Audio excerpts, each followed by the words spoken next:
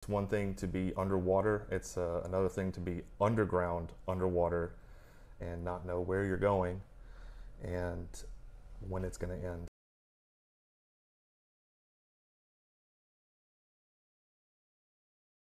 And, and I just clenched my face and just tried to keep whatever oxygen I had in me.